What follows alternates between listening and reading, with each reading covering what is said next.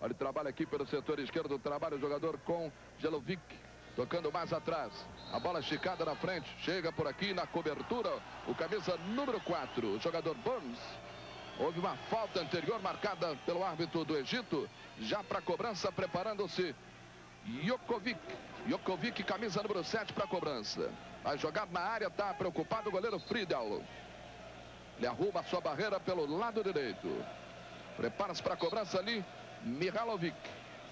Ele bate forte, Milahovic, defendeu o Friedel de cabeça, tocou lá dentro. Gol!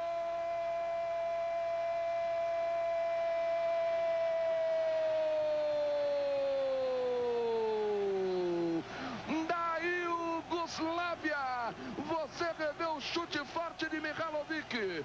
A defesa parcial do goleiro Friedel. A entrada pelo lado direito de Konjelovic, camisa número 13.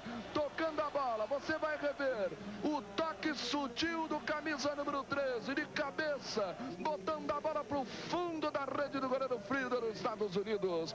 Aos três minutos do primeiro tempo em. Sai na frente a Yugoslávia. Yugoslávia 1 a 0 em cima dos Estados Unidos. Mais um gol na Copa do Mundo da França 98.